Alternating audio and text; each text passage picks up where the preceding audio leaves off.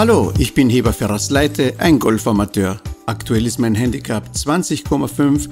Ich lade dich ein, heute mit mir auf 9 Loch Golf im Golfclub Schwächert. Ich werde dir jeden Schlag zeigen, den ich gemacht habe, die guten und auch die schlechten. Und so kannst du den Platz kennenlernen, wie er sich spielt für jemand in meinem Handicap-Bereich. Wie gesagt, Handicap 20,5 aktuell. Bahn 1 ist ein Paar 4, 353 Meter lang. Die Schwierigkeit bei dieser Bahn oder Herausforderung ist, dass auf der rechten Seite out of bounds ist, also ähm, eine Outgrenze. Deswegen zielt man eher ein Stück nach links. In diesem Fall ist es mir ein bisschen zu weit nach links gegangen, so dass ich nicht mehr am Fairway liege, aber eigentlich gut spielbar der Ball. Ich entschuldige mich dafür, dass der Ball nicht ähm, äh, in der Kamera ist. Eigentlich war das, äh, ist dieses Video so entstanden als eine Horuk-Aktion. Ich war alleine am Platz, es war nicht viel los und äh, ich habe mir gedacht, ich stelle mein Handy hinter mir immer auf meinem Golfbag und es hat aber dann nicht immer so ganz richtig geklappt mit der Einstellung. Wie du siehst, der zweite Schlag war eher nicht so gut. Ich hatte noch 160 Meter zur Fahne, habe den aber eher getoppt und äh, er ist flach geflogen, aber bis zum Vorgrün gerollt und am Vorgrün, äh, tja, von da habe ich einen langen Putt ich habe festgestellt, dass es ganz gut ist, wenn man sich selber filmt dabei, denn ich merke, dass ich ab und zu Fehler mache bei der Ausrichtung. Zum Beispiel hier bin ich nicht so gescheit ausgerichtet, habe ein wenig überschätzt, wie weit äh, es tatsächlich ist, beziehungsweise wie, weit es, wie viel es bremsen wird durch das Bergauf. Bin am Loch vorbei, Putt zurück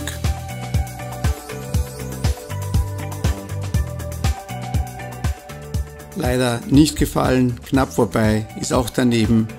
Aber ein Tap-In zum Bogey, das ist kein so großes Problem. Eigentlich ist auf diesem Loch ein Bogey ein durchaus respektables Ergebnis für jemand in meiner Handicap-Klasse. Dieses Loch ist das am schwersten gerätete Loch am Platz.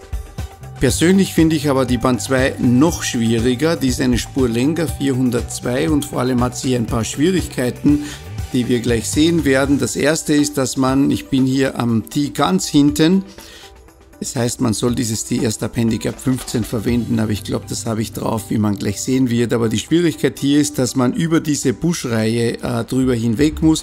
Die ist ungefähr bei 120 Meter und man darf vor allem den Ball nicht nach rechts abreißen lassen, weil da geht die Buschreihe von einem weg und dann verliert man die Bälle gerne.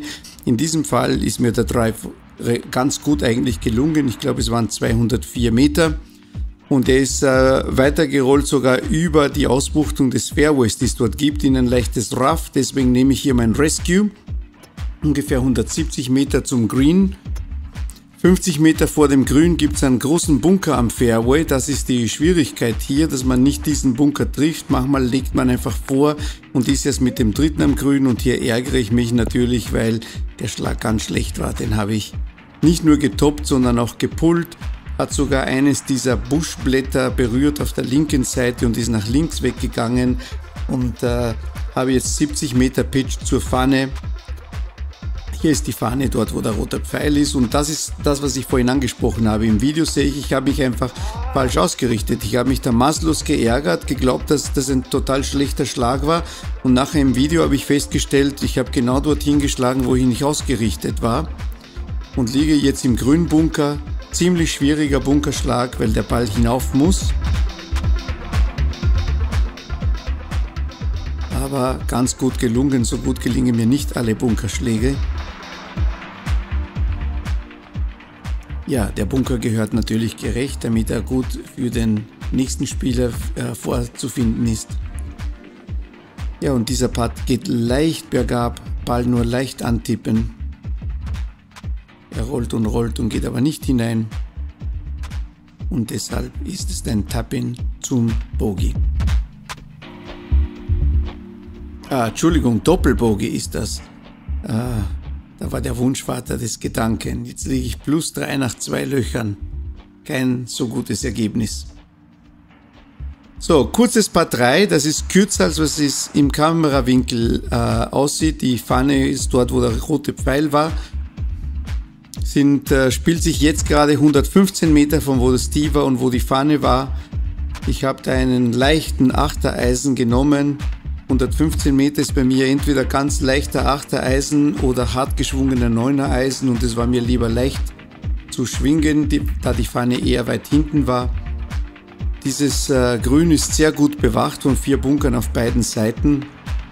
Ähm, und ja, da habe ich den Putt viel zu kurz gelassen, aber zum Glück mache ich den zweiten Putt hinein zum Paar ja, das Loch ist das am leichtesten gerettete am Platz. Ich persönlich finde nicht, dass es das leichteste Loch ist, weil das Grün recht schmal ist äh, und wie gesagt sehr gut bewacht ist. Ich finde, dieses Loch ist wahrscheinlich das leichteste am Platz. Ein paar vier, nicht sehr lang.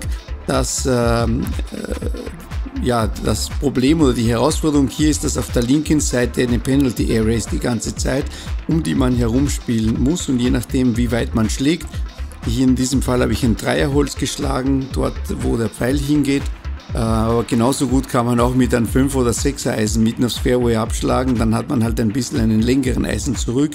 Hier habe ich eine Sandwich ins Grün. Sandwich äh, wird so gut getroffen, dass der Ball sogar zu weit fliegt. Da ärgere ich mich darüber, weil es eigentlich ein so guter, schöner Ballkontakt war. Und äh, dort geht es am Grün nämlich bergab, dort wo es gelandet ist und bin dann übers Grün oder seitlich weggerollt ins Rough. Jetzt muss ich da hinauf chippen, es geht da leicht bergauf und äh, lasse ihn eine Spur zu kurz. Deswegen habe ich doch einen Part, na gut, man hat eine Chance, den hineinzumachen, aber der Part waren gute drei bis vier Meter noch. Ich schaue mir immer den Part von beiden Seiten an, ich gehe den ab, wie viele Schritte sind das. Ich hatte ich habe da vorhin, glaube ich, am Bahn 1 gesagt, 23 Meter, also eigentlich waren es 23 Schritte. Tja, der bricht in letzter Sekunde weg und geht nicht rein, ist aber wirklich ein echter Tap-In zum Bogey. Ja, ich nehme das Bogey. Dieses Loch ist eins, das ich normalerweise auf Spar spielen möchte, ähm, aber gut, Bogey muss man halt nehmen. Ja, das ist jetzt ein recht schweres Paar 3, 163 Meter, spielt sich ganz leicht bergauf. Das Grün hat drei verschiedene Ebenen und dieser Baum, den man links sieht, ist genau im Weg. Also man hat einen sehr schmalen Bereich zwischen den Büschen, die auf der rechten Seite sind, einen giftigen Bunker rechts und diesen Baum links, der eigentlich den Weg stört. Und prompt treffe ich den Baum, zum Glück nur Blattwerk, so dass es den Ball ein wenig gebremst hat, aber nicht abgelenkt hat. Und das war im Endeffekt fast Glück im Unglück, denn der Ball lag pin high. Also wenn das Blattwerk nicht gewesen wäre, wäre ich viel zu weit gewesen. Also, Chip da, es geht da hinauf wieder. Tja, und da ärgere ich mich natürlich wieder über mich selber, den habe ich viel zu kurz gelassen. Ich lasse an dem Tag viel zu viel Punkte bei den Chips. Und ich denke mal, das ist jetzt eine Übungsrunde, es ist niemand hinter mir, lass mich diesen Chip üben. Nein, so auch nicht. Genau, so hätte er gehört. Aber gut, ich spiele jetzt den Ball im Spiel weiter, bin am Vorgrün, patte von dort Richtung Fahne, ist mein dritter Schlag.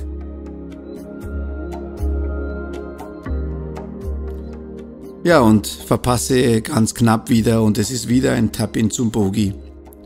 Muss man hinnehmen. Hier auf diesem Paar 3 ist eigentlich Bogey gar kein so schlechtes Ergebnis, weil das Grün wirklich schwer zu treffen ist äh, von dort, äh, vom, hinten vom Tee, eben aufgrund der Schwierigkeit des Baumes und der Büsche links und rechts. Ja, nächstes Paar 3, 156 Meter. Dieses hier geht leicht bergab. Die Fahne war an dem Tag ganz kurz gesteckt. Ich habe mir gedacht, na, die ist jetzt leicht zu treffen, weil da ist der Eingang. Mal sehen, wie das gelingt. Und blöderweise habe ich da einen unbeabsichtigten Draw, Pull, wie auch immer und dachte, ich bin links im Grünbunker, aber ich bin genau knapp über den drüber geflogen und landete am Grün, aber auf der völlig falschen Seite des Grüns. Tja, und ähm, leider hat hier die Kamera gesponnen und meine Putts wurden nicht aufgenommen. Ich habe drei Putts gebraucht, da war eine Welle, über die ich drüber musste, habe ich ein wenig falsch eingeschätzt. Äh, der zweite war ganz, ganz knapp, hat wirklich die Lochkante rasiert. Tja, äh, das einzige Paar 5 auf diesem neuen Lochkurs. Hier geht es darum, den Drive einfach geradeaus und vorne am Fairway zu platzieren. Das Fairway fängt erst 150 Meter vom Tee ab, wenn man von hinten von Gelb spielt. Äh, in diesem Fall war ich mit dem Schwung nicht ganz zufrieden. Ich machte hier so eine Bewegung. Ich hatte das Gefühl, dass das ein Wickel-Waggelschwung war, aber im Endeffekt lag der Ball am Fairway gut spielbar. Deswegen nehme ich hier jetzt ein Fünfer Holz. Die Schwierigkeit hier am zweiten Schlag ist, dass links Wasser und rechts out of bounds ist. Und äh, deswegen ist das ein Schlag, den man relativ genau spielen muss, vor allem wenn man einen langen spielt. Und da habe ich mein Fünferholz eigentlich ganz gut getroffen. Der Ball geht eine Spur zu weit rechts, aber, ähm, aber ganz deutlich im Spiel noch, war kein großes Problem. Lag 80 Meter zur Fahne, das ist bei mir eine Dreiviertel Pitching Wedge. Ball etwas oberhalb vom Stand. Ja, wie ihr seht, mache ich immer in der Regel zwei Probeschwünge, um mich aufzulockern. Hatte eigentlich guten Ballkontakt, eine Spur zu weit links aber nichts Wildes, liege ganz knapp nicht am Grün, aber relativ in der Nähe der Pfanne. Tja, geht zwar nicht ganz rein.